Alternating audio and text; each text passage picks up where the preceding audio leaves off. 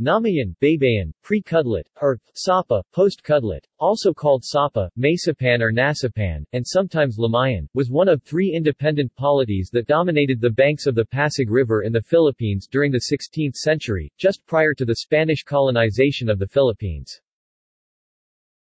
Archaeological findings in Santa Ana, Namayan's former seat of power, have produced the oldest evidence of continuous habitation among the three polities, predating artifacts found within the historical sites of Manila and Tondo, formed by a confederation of barangays. Local tradition says that it achieved its peak in 1175. Sources Historians studying Namayan have the advantage of being able to draw both from written sources and from artifacts uncovered in controlled archaeological digs. The most prominent primary written sources regarding precolonial Namayan is Estado Geográfico, Topográfico, Estadístico, Histórico Religioso de la Santa y Apostólica Provincia de San Gregorio Magno, published in 1865 by Franciscan scholar Fr. Felix de Huerta. His description of Namayan included important details such as the extent of Namayan S territories, and the lineage of its rulers. Controlled archaeological excavations conducted by the National Museum of the Philippines in the 1960s, meantime, produced artifacts from a pre-Hispanic grave site within the Santa Ana Church complex, providing important information about maritime trade around Southeast Asia and China from 12th to 15th century AD, as well as the elaborate mortuary practices of Namayan. S inhabitants Capital sites Three present-day locations are identified as the political centers of Namayan. Two of these are within today's Santa Ana, Manila, and the other is now a barangay of the Mandaluyong city across the river from the other sites. Sapa the site most associated with the kingdom is the town proper of Santa Ana, which grew around the Our Lady of the abandoned parish. This site did not become the center of the settlement until 1578, when Franciscan missionaries chose to build the parish church of Santa Ana de Sapa some distance away from the original town. Local referred to the site as Maysapan, or more simply, Sapa. Sapa is the Tagalog and Kapampangan word for a small creek. Nearby bodies of water matching the description include what would eventually be called Estero de Tripa de Gallina, and a smaller creek in the vicinity of what are now Del Pan, Havana, and Teheran streets. However, Old Santa Ana was known for being crisscrossed by brooks and creeks, and any number of these creeks could have been obscured by eventual urbanization. Christianized into Santa Ana de Sapa, the name eventually encompassed the district of the city of Manila now known as Santa Ana. Fr. de Huerta notes that this town takes its name from the titular saint and the addition of Sapa for its having been established in a site immediately upon an estuary or rivulet proceeding from the Pasig River, which the natives call Sapa and the name of the town itself. Lamayan Instead of the Nasapan site, local traditions say that an area called Lamayan Tagalog and Kapampangan for the place where a wake was held on the banks of the Pasig itself. It was the site of the ancient capital from which Lacan Tagcan and Buwan once ruled. It is still recognizable today because the modern street still bears its name. Namayan, Mandaluyong a third location, Barangay Namayan in the city of Mandaluyong bears the name of the kingdom, and was clearly part of its ancient territory, located as it is on the banks of the Pasig just opposite of Lamayan. Territory Namayan's territory has been described bordering Manila Bay, the Pasig River, and Laguna de Bay. A more precise description of Namayan S administrative area is given by Fr. de Huerta, who, noting that Namayan was a confederation of several barangays, identified these component communities as they were named during the mid-19th century. Namayan citizens called by the army of Datu Makatan Sai, shortened in Visayan dialect means, by ang ilahing sala atong i hatig sa alaha, inilad, equivalent to deceived.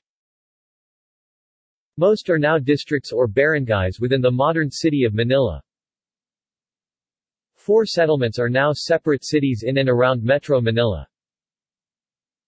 Administrative and political records of Spanish Manila indicate that these settlements mentioned as territories of the Kingdom of Sapa were recorded in 1578 as parts and visitas satellite settlements of Sta.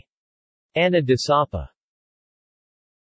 A number of these settlements Names are no longer used today, but Philippine national artist for literature Nick Joaquin, in his book Manila My Manila, A History for the Young, says that the kingdom S territories included what are now Santa Ana, Quiapo, San Miguel, Sampaloc, Santa Mesa, Paco, Pandacan in Manila, Mandaluyong, San Juan, Makati, Pasay, Pateros, Taguig, and Parañaque.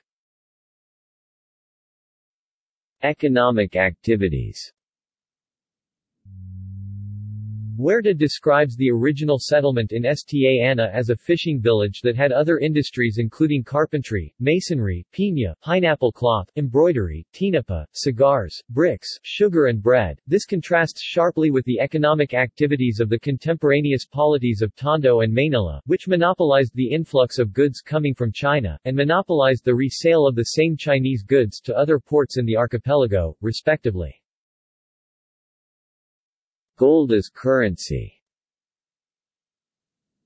The Namayans, like Tondo, used piloncitos, small gold ingots some of the size of a corn kernel, and weighing from 0.09 to 2.65 grams.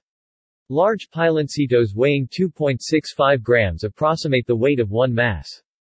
Piloncitos have been excavated from Mandaluyong, Bataan and the banks of the Pasig River. Other than piloncitos, the Namayans also used gold rings, or gold ring-like ingots, very similar to the first coins invented in the Kingdom of Lydia in the present-day Turkey. Barter rings were circulated in the Philippines up to the 16th century. Rulers Fray Huerta also recorded the genealogy of Namayan's ruling family, tracing it to a Lacan Tagcan, also known as Lacantagcan, or Lacan Takan in some oral histories, and his wife Buin. Under the heading, Santa Ana, he records, In origin of the natives of this town comes from a ruler, Regulo, called Lacantagcan, and his wife named Boan, lords, Señores, of the Namayan territories. Closing square bracket. The first Christian name found in the genealogical tree of this great Gran family is a certain Martin in this form. Martin, son of Calamayan, Calamayan, son of Laboy, Laboy, son of Palaba, and Palaba, firstborn son of the ruler. Regulo. Lacantagcan and his wife Boan.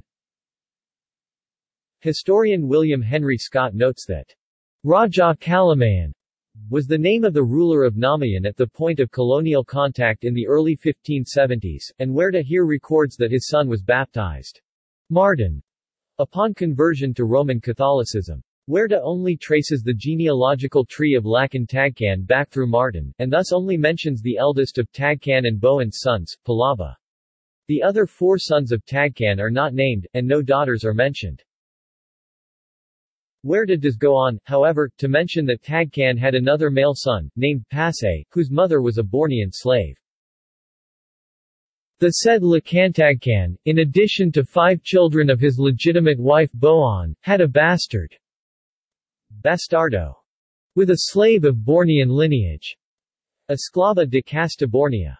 Called Pasay, who was the origin of the town known by the same name, for having fixed there his residence as landowner, supported by his father.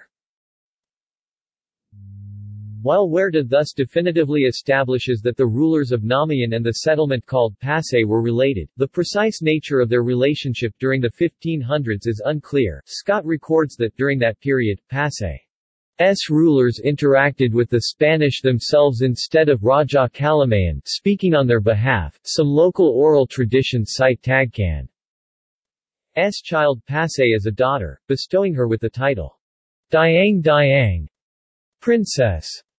However, the descriptor bastardo, bastard, used by Huerta, is masculine in form. Historian Grace Odal Devora notes that Kapampangan oral histories also mention a Sultana Kalangitan, described as the Lady of the Pasig, who ruled the kingdom of Namayan. She is said to have been the grandmother of Principe Balagtas, or Bagtas, and the legend says that the Kapampangan people are descended from him. Odal notes that this demonstrates the interconnections of the Tagalog ruling elites. Documented rulers of Namayan the rulers of Namayan from the period of colonial contact the 1570s back to three prior generations, were documented by Franciscan historian Fray Felix Huerta in the work Estado Geográfico, Topográfico, Estadístico, Histórico Religioso de la Santa y Apostolica Provincia de San Gregorio Magno. Geographical, topographical, statistical, historical and religious state of the Holy and Apostolic Province of St. Gregory the Great. A record of the histories of Franciscan missions which is now a primary resource for local histories of Philippine municipalities. Legendary rulers of Namayan Aside from the records of Huerta, a number of names of rulers are associated with Namayan by folk, oral traditions, as recounted in documents such as the Will of Fernando Malong 1589, and documented by academics such as Grace Odal Devora and writers such as Nick Joaquin. After colonization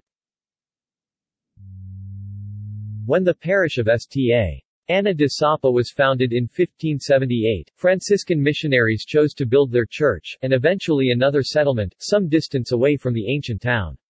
The result is that the present-day Santa Ana is no longer located at the original site of the capital of Namayan. This has raised some questions about pre-colonial graves that have recently been excavated near the Santa Ana Church. See also Notes References Further reading History of Makati, pre-Spanish period. Makati City Portal. City Government of Makati. Archived from the original on 28 March 2008. Retrieved 5 February 2008.